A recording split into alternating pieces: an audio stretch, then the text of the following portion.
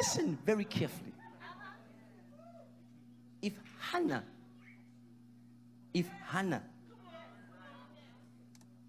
kept quiet, she wasn't going to grab the attention of the priest.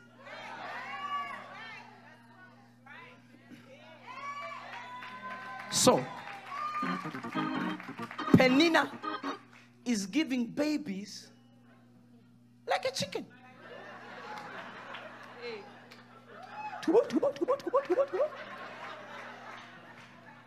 And every time Penina is inviting Hannah for the baby shower. Yes, sir. And Hannah has no option but to attend.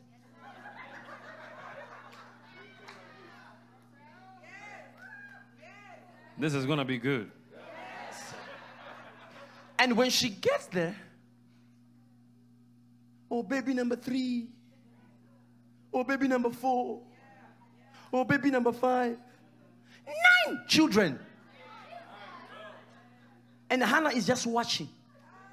And at the same time, she is praying for her own baby every day. The same husband that's giving Penina babies is the same husband she's sleeping with. Her oven is not working. Flour is placed inside, but still is not baking bread. Yes, sir.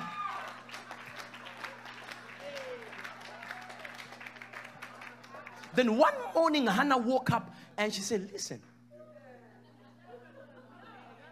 in every situation, there is a revelation. Yes, sir. Yes, sir. So, this is what Hannah began to say.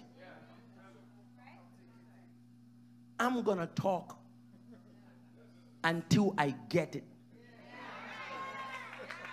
So she went to the baby store and she began to buy baby clothes. Yes, sir.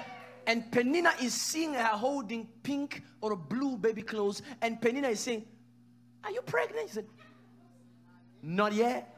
Yes, sir. But I'm coming very soon. Yes, sir.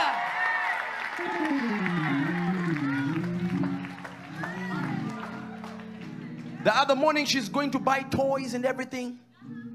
And the neighbors are like, You pregnant now? I said, Not yet. But let me tell you something. My God is the God of again. Yes, sir. He's gonna do it. I believe it. Then the third time, she's going to see the pediatrician. I want you to check my ovaries and everything inside.